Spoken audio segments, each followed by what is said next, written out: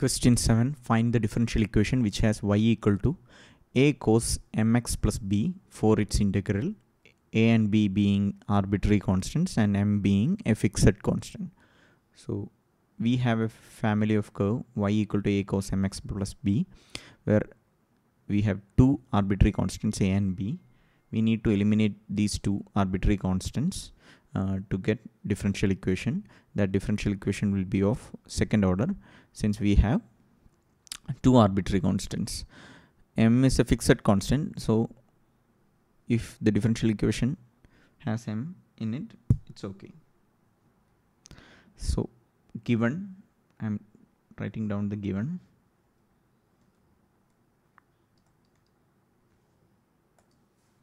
sorry given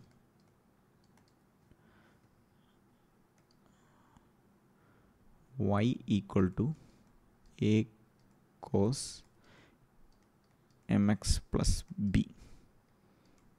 So equation 1. Differentiating with respect to x d by dx on 1 we get dy by dx equal to a into d by dx of cos theta is minus sine theta. So minus sine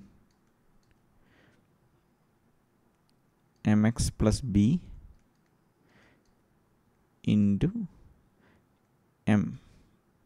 So first I just use the formula d by dx of f of g of x is f dash of x into g dash of x.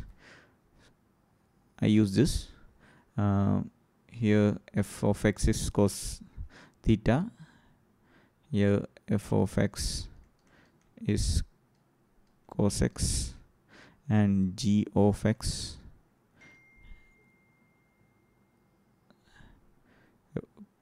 not cos x actually cos of function. Function is cos.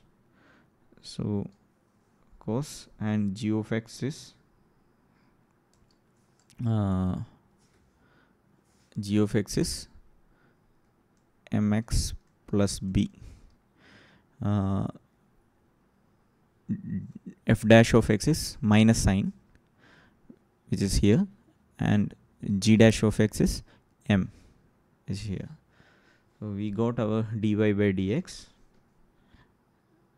just writing this down here.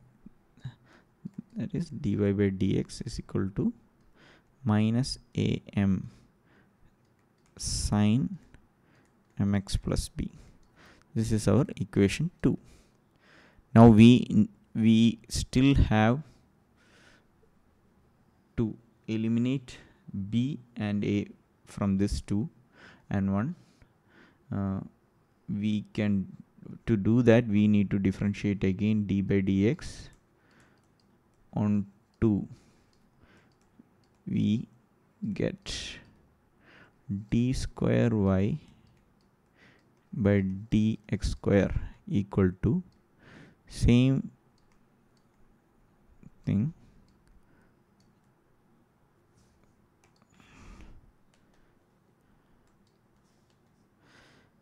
different differential of sine mx plus b becomes sine differential same using the same formula. D by dx of sine uh, function is cos. So cos mx plus b differential of this is m. So we got fr from the previous I'm writing as uh, simplify I'm sim simplifying this formula to the next page which becomes d square y by dx square equal to